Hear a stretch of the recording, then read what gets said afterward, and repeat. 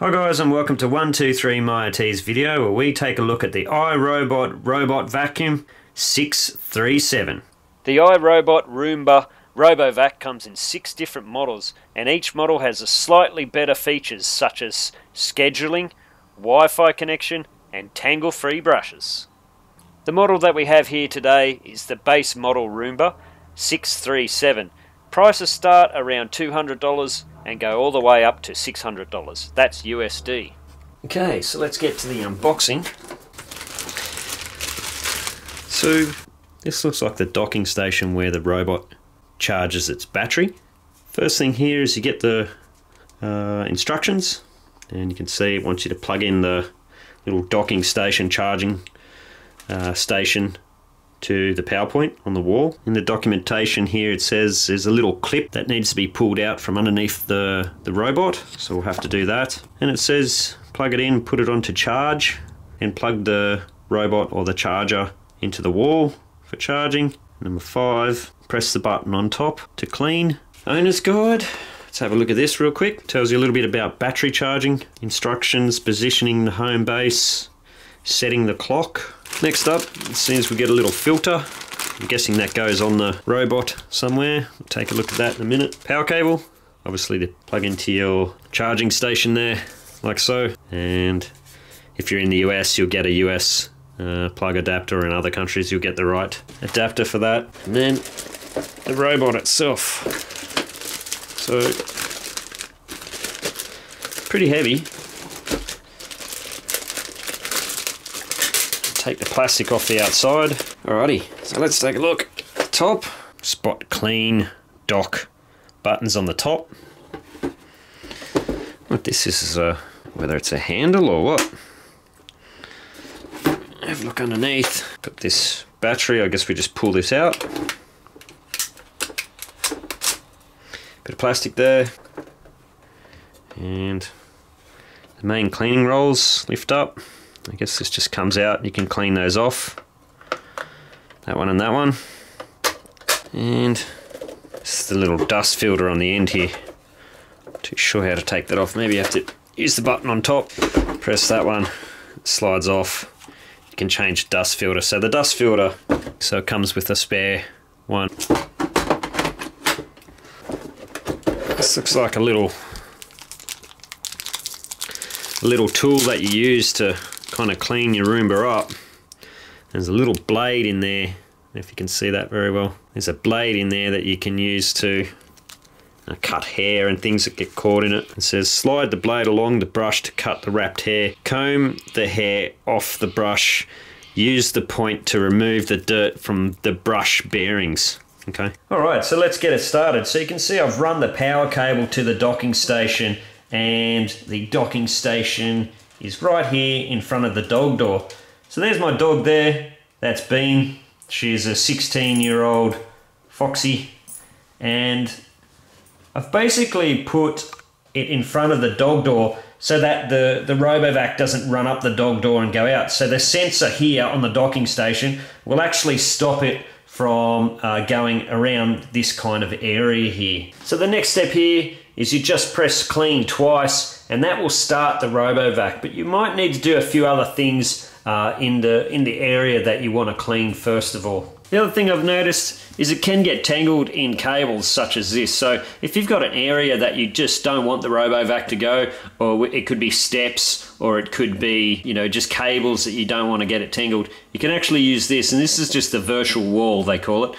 And if you have a look on the side here, it tells you, okay, the RoboVac, if you've got dog bowls or dog dishes or something like that, you don't want the RoboVac to go into, it can do like a semicircle around things. So for example, if I wanted to do the, the semicircle around something, I would just push the button down to that semicircle, place it in front of the area and it will, the RoboVac actually won't go near those cables now. If you've got some stairs as well and you don't want the RoboVac to go there, what you can do is you can use this to just create a long wall. So says here about 10 feet to 3 meters that it will cover and if you just turn the button upwards you face this wherever you want it to go so if you just want to put it there like so that should stop the RoboVac from from going down the stairs there but obviously if you can if you don't have to use that, the best method might be just to push the door closed. Same goes for kids' toys. Any little toys and things, put them away uh, so they don't get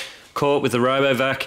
So if you kind of think about it this way, uh, the same thing when you're vacuuming, if there's things in the road, you're not going to be able to vacuum the surface very well. So if you just clear away any clutter that is around the place before you turn on the RoboVac, then you know go out do your shopping for an hour come back and you'll have really clean uh, nice floors. The other place where i did see the robovac get caught was in amongst under chairs where you have the chairs too too close together. What can happen is if you have the chairs too close together it can kind of go in at one angle and then just get stuck and just can't find its way out. So if you pull the chairs apart um, like just move one chair back and move that back a little bit and then it will be able to go in and out without any problems. Okay so let's start it up see how it goes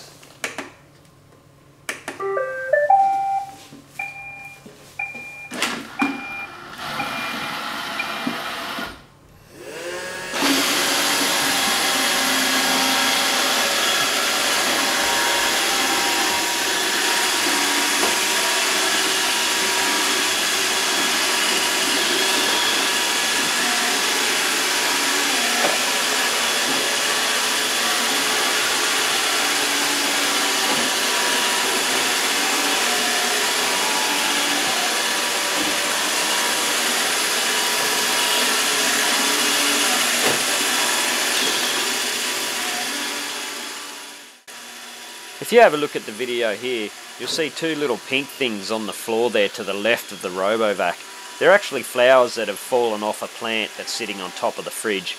And you, if you watch closely, the RoboVac does a good job to pick them up.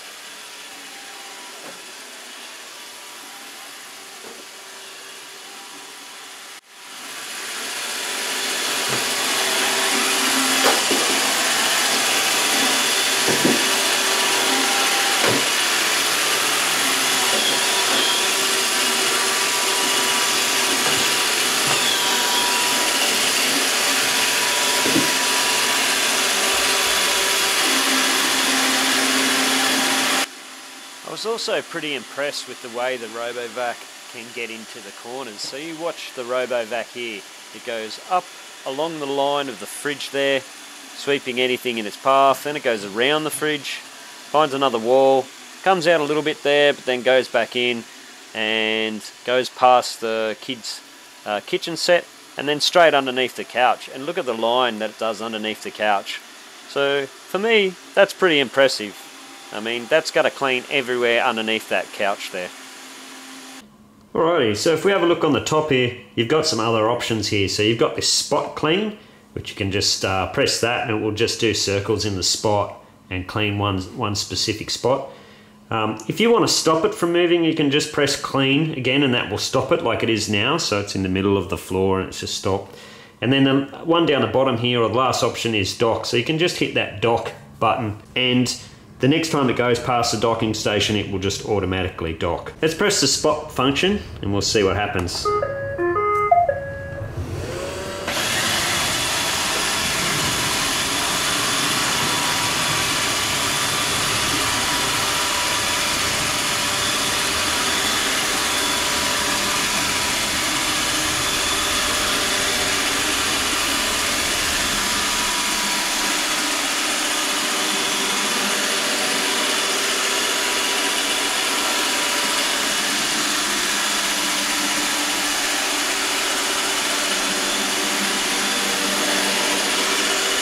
Okay, so that spot seemed to work. It went around in circles and we've just hit clean to stop it again. Now I'm going to hit the dock and see what happens.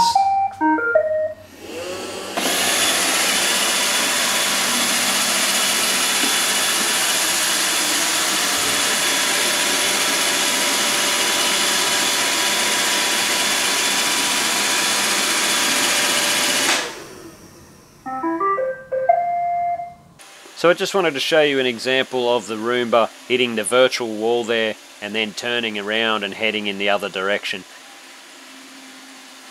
Okay, so after about an hour of vacuuming, uh, the RoboVac will return to its base. Let's just have a look and see if it's picked up any dust.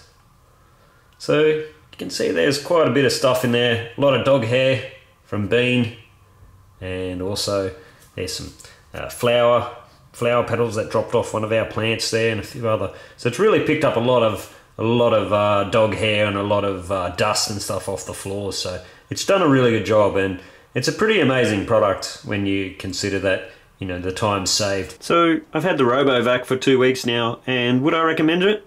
I would definitely recommend it. I think it's a great product.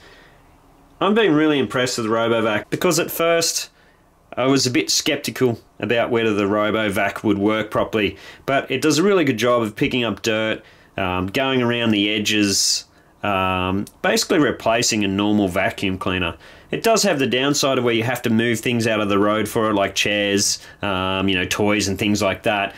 But for me, that's a very little amount of time that you have to do that. And then the RoboVac goes around for an extra hour and cleans the whole floor.